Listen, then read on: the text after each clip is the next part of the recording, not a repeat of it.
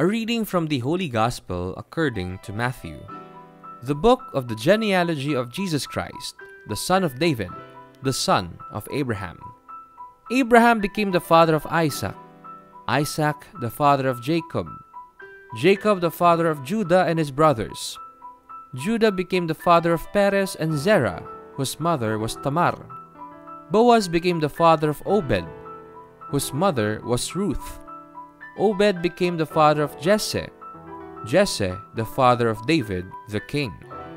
David became the father of Solomon, whose mother had been the wife of Uriah. Solomon became the father of Rehoboam, Rehoboam the father of Abijah, Abijah the father of Asaph. Hezekiah became the father of Manasseh, Manasseh the father of Amos, Amos the father of Josiah, Josiah became the father of Jeconiah and his brothers at the time of the Babylonian exile.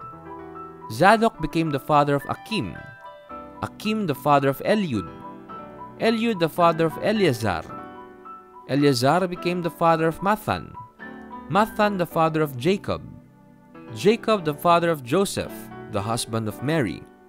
Of her was born Jesus, who is called the Christ. Thus, the total number of generations from Abraham to David is 14 generations. From David to the Babylonian exile, 14 generations. From the Babylonian exile to the Christ, 14 generations. The Gospel of the Lord. The genealogy of Jesus Christ. A relative recently produced a bound genealogy of our clan, tracing family roots and branches as painstakingly as possible. It was very exciting to see and discover the extent to which the roots and the branches have extended by now. In a sense, this family tree gave us a sense of rootedness, of stability, and of pride, despite discovering also some painful realities involving our clan. When Jesus became like us, he inserted himself into the family tree of humanity and into the particular genealogy of Mary and Joseph.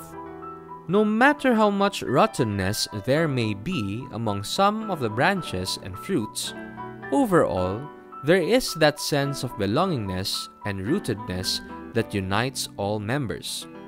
Jesus' line, too, consists of not so edifying ancestors. Still, God uses these less than perfect characters to be bridges and instruments in the realization of His plan to save in Jesus Christ. Despite the twisted branches and rotten roots that you find in your genealogy, are you able to rejoice over the gift of your lineage?